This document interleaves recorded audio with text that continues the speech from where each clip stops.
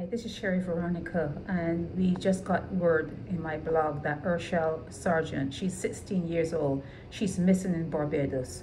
Now, we, let's get let's get serious here. We know that when these 16 year olds go missing in Barbados, we do know where they are, not who they're with, but we do know where they are and what they're doing.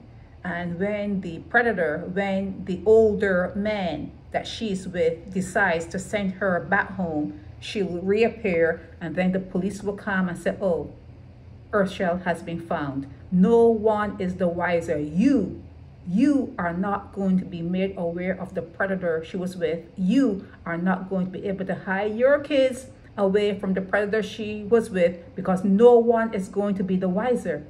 Nothing is accomplished by putting these kind of notices out. She's not going to be trafficked. Bajan women are not trafficked. They're not taking her off. They're all, everyone, every last one is found.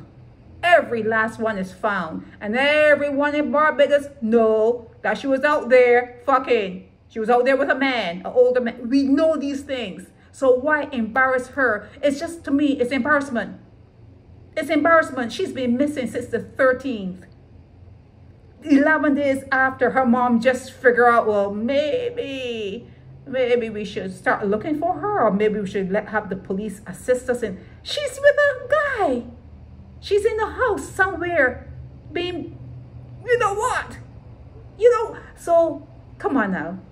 Ursha, just call your mom because you know there's probably no dad in the house.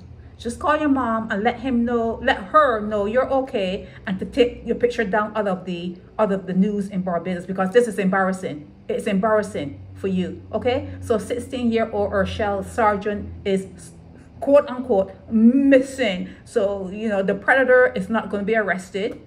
It's okay to have sex with a 16 year old in Barbados, you know, and if it wasn't consent if it was consensual, you know, there will be a charge. But chances are it's consensual. Chances are it's consensual. Okay. So there's nothing going to happen to whoever she's with. Nothing's going to happen because she's 16 years old. Why is this in the paper? Why? Because it's 11 days that she didn't call home or she didn't show up home to say, hey, I'm good and I'm okay.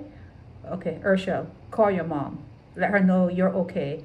And let's get back to business as usual. Okay? Sure, Veronica.